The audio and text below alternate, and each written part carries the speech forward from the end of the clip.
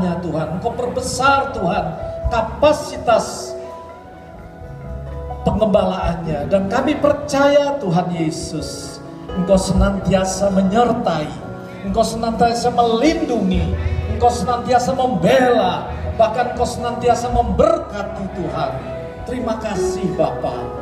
Terima kasih Engkau berkati juga Ibu Lelen Tuhan yang sebagai pendamping yang setia ya Bapak dan sebagai pendoa syafaat kami percaya Tuhan Yesus Engkau memberkati hambamu ini dengan kesehatan yang sempurna dengan kekuatan yang supranatural untuk mendukung baik gembala kami maupun kami semuanya ya Bapak dan kau berkati seluruh keluarganya Bapak baik anak-anaknya mantu-mantunya cucunya Tuhan. Engkau berkati dalam nama Tuhan Yesus.